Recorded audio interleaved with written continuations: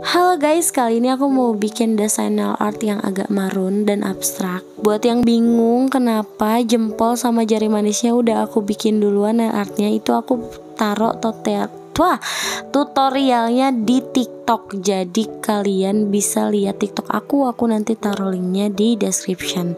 Ini aku pertama buat telunjuk kasih warna marun setengah, terus pakai kutek jeli yang agak gelap, diacak-acak aja.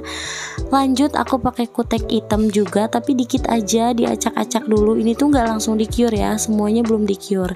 Nah, buat di jari tengah ini aku pakai kutek jeli yang warnanya tuh putih. Jadi dia tuh putihnya tuh agak jeli jeli gitu. Nah untuk kelingking aku mau pakai polosan aja warna marun biar nggak terlalu heboh. Nah terus aku cure selama 30 detik ya. Aku tuh kalau cure gel polish 30 detik.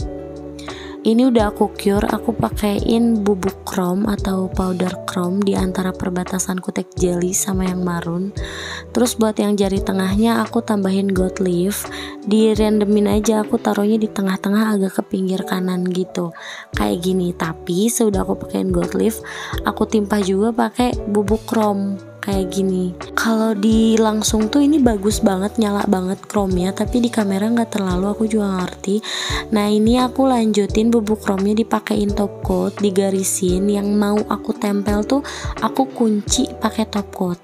Nih yang ini juga sama aku top coatin terutama yang daerah-daerah yang ada gold leaf-nya biar si bubuk chrome-nya tuh nempel di situ kayak gini.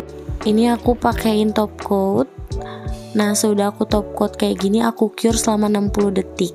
Sudah aku cure, aku hapus bubuk chrome-nya pakai aseton. Dihapusin aja digarisin ini tuh nggak lama cepet dia langsung hilang kecuali yang aku udah seal pakai top coat nah kalau udah kayak gini aku mau tambahin efek-efek timbul yang bulat-bulat itu loh yang kayak di jari manis. Ini aku pakainya tuh pakai solid gel. Aku bikin lingkaran bulat aja kayak bola gitu terus aku taruh langsung aja di atasnya nggak usah pakai lem lagi. Ini nggak kelihatan kameranya. Ampun. Nih tuh kayak gitu ya. Cure selama 60 detik terus aku pakaiin bubuk chrome lagi. Di bagian si bolanya aja abis itu langsung aku top coat. Nggak aku cure dulu. Ini aku top coat ya bagian jari tengah sama kelingking. Karena kelingking aku bener-bener nggak apa-apain biar nggak terlalu rame. Oke, ini udah jadi, tinggal aku cure 60 detik dan ini hasilnya.